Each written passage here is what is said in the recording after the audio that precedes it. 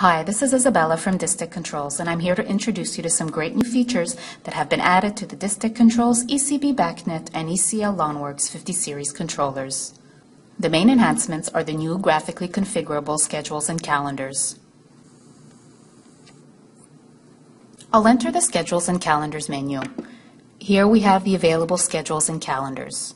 Schedules are typically used to configure a weekly schedule. For example, the work week can be from Monday to Friday with working hours from 8 a.m. to 5 p.m. Calendars, on the other hand, let you globally specify holidays and other special days. A calendar can then be referenced in multiple schedules, allowing you to create recurring holidays only once.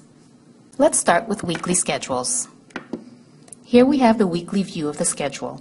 By highlighting each weekday, a graphic representation of the daily schedule is shown on the right.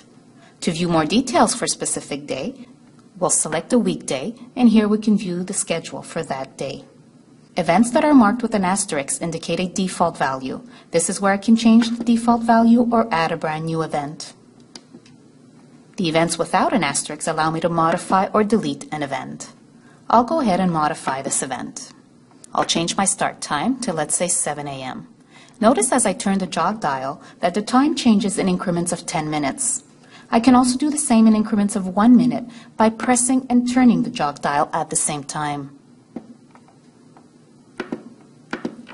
And I'll also change my end time.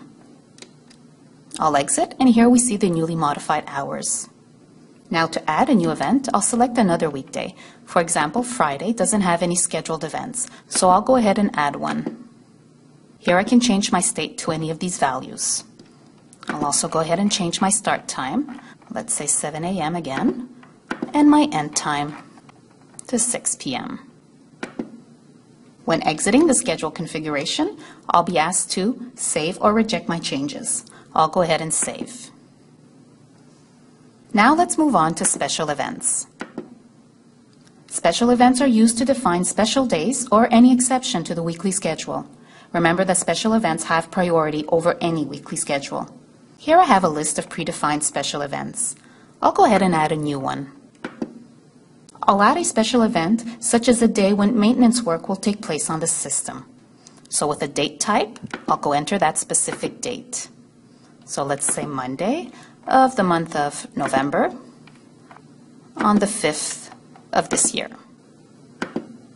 There are many different combinations that can be scheduled using any of these date types, whether it's a date, a date range, a week and day, or a reference to an existing calendar. At the bottom of the screen, there is a scrolling legend that indicates the meaning of the formats and the acronyms that are used in the special events screen. Now we'll take a look at the calendars. Calendar events define special event days. For example, on New Year's Day, I can set my system to be off. To do so, I'll select a calendar and I'll add a new event. Because New Year's Day is a specific day, I'll select date as the type and I'll enter the specific date here. So I'll go ahead and select the month of January on the first of every year. There are other special event days that can be added to a calendar. Here we have a date range, for example. To accommodate vacation schedules, companies may close for a few weeks in the summer. If so, then we can enter a time period using a date range as shown here. We have a start date and an end date.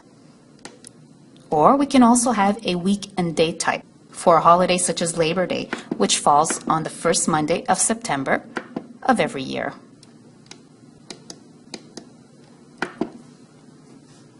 Like I previously mentioned, a calendar can then be referenced in the schedules. So rather than defining the same event in multiple schedules, such as New Year's Day or any other recurring holiday or event, you can define them all in one calendar.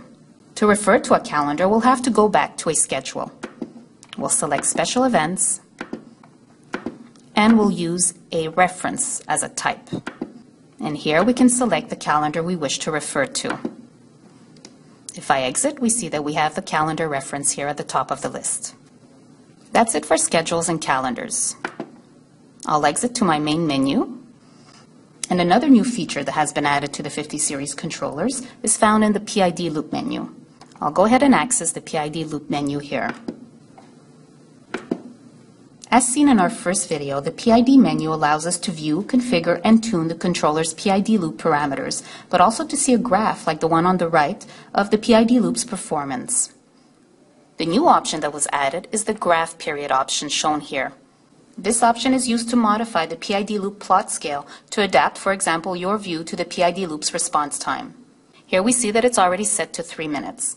I'll modify this, and I'll set it to half a minute.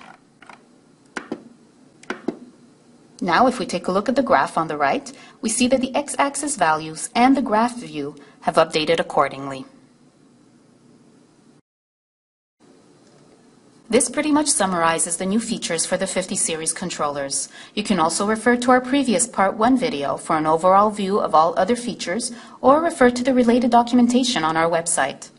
Keep in mind that some of the features covered in these videos are available only with certain controllers. Thank you for watching and please refer to our website or contact your regional sales manager for more information.